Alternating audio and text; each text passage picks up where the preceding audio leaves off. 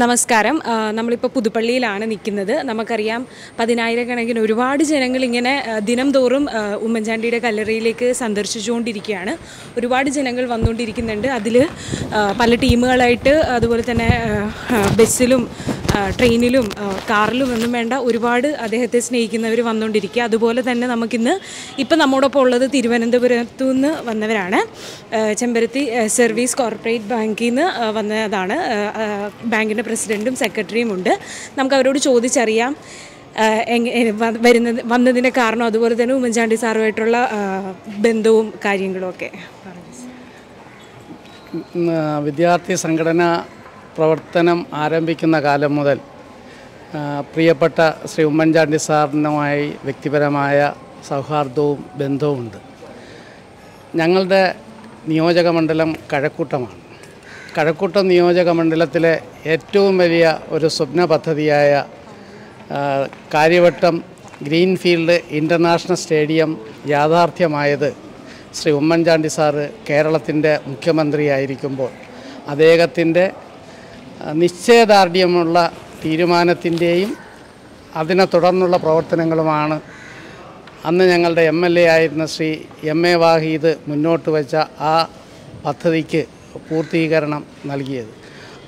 ആ ഒരു ഒറ്റ കാരണം കൊണ്ട് തന്നെ. അതുപോലെ ആ നിയോജക മണ്ഡലത്തിൽപ്പെട്ട നിരവധി റോഡുകളുടെ മേൽപ്പാലത്തിന്റെ എല്ലാം പൂർത്തീകരണത്തിന് ഞങ്ങളെ സഹായിച്ചത് ശ്രീ ഉമ്മൻചാണ്ടി സാറ് കേരളത്തിന്റെ മുഖ്യമന്ത്രി ആയിരുന്നപ്പോഴാണ്. അത് പൊതുവായ വികസനത്തിന്റെ കാര്യം.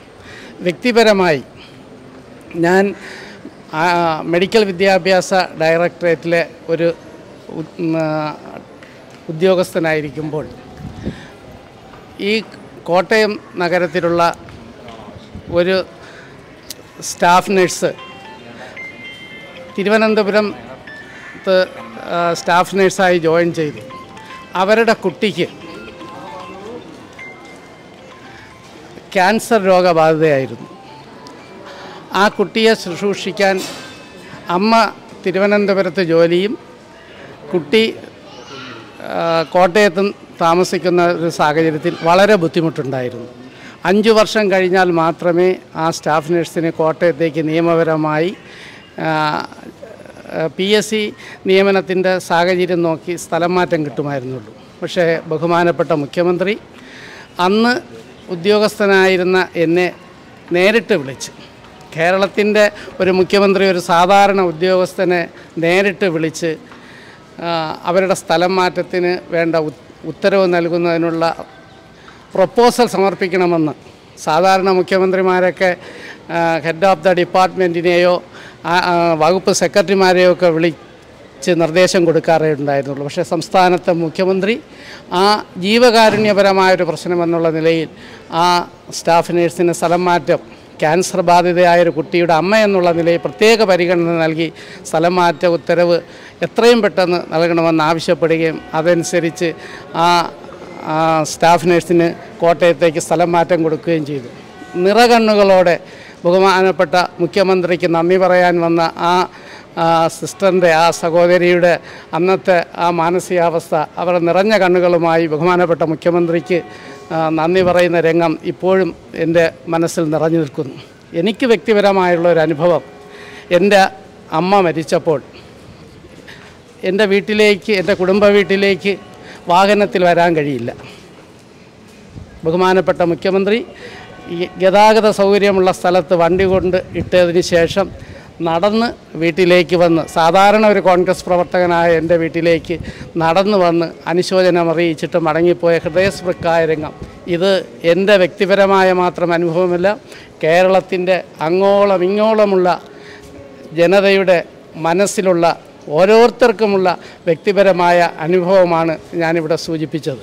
അതുതന്നെയാണ് തിരുവനന്തപുരത്ത് എയർപോർട്ടിൽ അദ്ദേഹത്തിന്റെ മൃതദേഹം കൊണ്ടുവന്നത് മുതൽ തിരിച്ച് തിരുവനന്തപുരത്തുള്ള അദ്ദേഹത്തിന്റെ വസതിയായ പുതുപ്പള്ളി ഭവനിലേക്കും അവിടെ നിന്ന് കോൺഗ്രസ് ഭവനിലേക്കും ഇന്ദിരാഭവനിലേക്കും തിരിച്ച് ഈ പുതുപ്പള്ളിയിലേക്ക് എം സി റോഡ് വഴി പുതുപ്പള്ളി പള്ളിയിലേക്കും കൊണ്ടുവന്ന റോഡിന്റെ ഇരുവശവും രാഷ്ട്രീയത്തിനും ജാതിക്കും മതത്തിനും അതീതമായി നിറകണ്ണുകളോടെ ആരുടെയും പ്രേരണയില്ലാതെ ആരുടെയും ആഹ്വാനമില്ലാതെ ഒരു സംഘടനാ ബലവുമില്ലാതെ തടിച്ചുകൂടിയ പതിനായിരങ്ങൾ ലക്ഷക്കണക്കിന് ആളുകൾ നിറകണ്ണുകളോടെയാണ് അദ്ദേഹത്തിന് അന്ത്യയാത്ര ചൊല്ലിയത്. അദ്ദേഹത്തിന്റെ അന്ത്യവിശ്രമം കൊള്ളുന്ന ഈ പുണ്യഭൂമിയിൽ വന്ന് ഒരിക്കൽ കൂടി അദ്ദേഹത്തിന് സ്മരണാഞ്ജലി അർപ്പിക്കുന്നതിന് വേണ്ടിയാണ് ഞങ്ങളിവിടെ എത്തിച്ചേർന്നത്. അത് നമുക്കറിയാം. ഇപ്പോൾ അദ്ദേഹത്തിന്റെ മകൻ ഇപ്പോൾ ഇവിടെ മത്സരിക്കാൻ പോവുകയാണ്. ചാണ്ടിയുമ്മനും അത് അദ്ദേഹത്തെ ജനങ്ങൾ എങ്ങനെ കണ്ടിരുന്നു? അതുപോലെ തന്നെ ജനസ്നേഹവും പിന്തുണയും എല്ലാം ലഭിക്കുമെന്ന് വിശ്വാസമുണ്ട്. അദ്ദേഹം അത് നല്ല ഭൂരിപക്ഷത്തോടെ തന്നെ ജയിക്കാൻ സാധ്യതയുണ്ടോ? തീർച്ചയായും പുതുപ്പള്ളിയിലെ ജനങ്ങൾ കേരളത്തിലെ ജനങ്ങൾ നന്ദിയുള്ളവരാണ്. ആ ഉമ്മൻചാണ്ടി സാറിനോടുള്ള സ്നേഹവായ്പ് ശ്രീ ചാണ്ടി ഉമ്മനോട് കാണിക്കും എന്നുള്ള കാര്യത്തിൽ യാതൊരു സംശയവുമില്ല. പക്ഷെ ഉമ്മൻചാണ്ടി സാറിന്റെ മകനെന്ന് മാത്രമല്ല.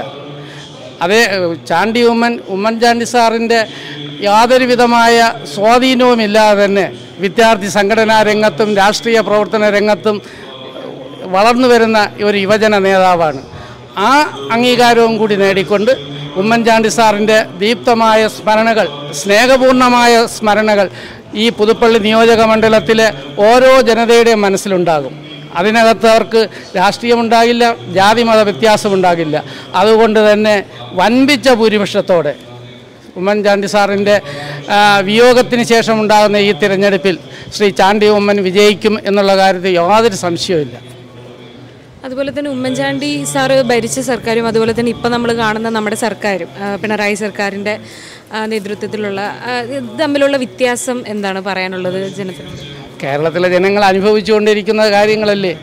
ഉമ്മൻചാണ്ടി സാറിന്റെ ഗവൺമെന്റ് അടിത്തറയിട്ട വികസന പദ്ധതി അല്ലാതെ ഏതെങ്കിലും ഒരു വികസന പദ്ധതി പുതിയതായി ആരംഭിക്കാൻ ഇന്ന് കേരളം ഭരിക്കുന്ന ഗവൺമെന്റിന് കഴിഞ്ഞിട്ടുണ്ടോ?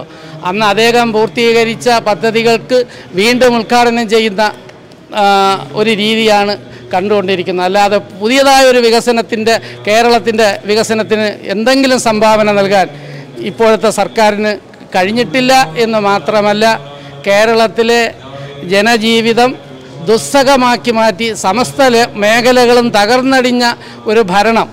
അഴിമതി കൊണ്ട് നിറഞ്ഞ ഭരണം വിലക്കയറ്റം കൊണ്ട് ജനജീവിതം ദുസ്സഹമാക്കിയിരിക്കുന്ന ഒരു ഭരണം അത് രാഷ്ട്രീയത്തിന്റെ തിമിരം ബാധിക്കാത്ത ആളുകൾ ആരായാലും കേരളീയരാരായാലും അവർക്ക് മനസ്സിലാകുന്ന രീതിയിൽ കേരളത്തിന്റെ ചരിത്രത്തിൽ ഏറ്റവും വലിയ ദുരന്തമായ ദുരന്തപൂർണമായൊരു ഭരണകൂടമാണ് കേരളത്തിൽ അധികാരത്തിലിരിക്കുന്നത്. പണ്ടും കമ്മ്യൂണിസ്റ്റ് മുഖ്യമന്ത്രിമാർ കേരളത്തിൽ അധികാരത്തിൽ വന്നിട്ടുണ്ട്. കമ്മ്യൂണിസ്റ്റ് ഗവൺമെന്റ് കേരളത്തിൽ അധികാരത്തിൽ വന്നിട്ടുണ്ട്. പക്ഷെ കേരളത്തിന്റെ ചരിത്രത്തിലെ ഏറ്റവും ദയനീയമായി പരാജയപ്പെട്ട ഒരു ഭരണകൂടമാണ് ഇന്ന് കേരളത്തിൽ അധികാരത്തിലിരിക്കുന്നത്. ഈ ഭരണകൂടത്തിനെയും കേരളത്തിന്റെ വികസനത്തിന്റെ സമസ്ത മേഖലയിലും ചരിത്രം സൃഷ്ടിച്ച ഉമ്മൻചാണ്ടി സർക്കാരിന്റെ ഭരണകൂടത്തെയും തീർച്ചയായും കേരളത്തിലെ ജനങ്ങൾ തുലനം ചെയ്യുമെന്നുള്ള കാര്യത്തിൽ യാതൊരു സംശയവുമില്ല.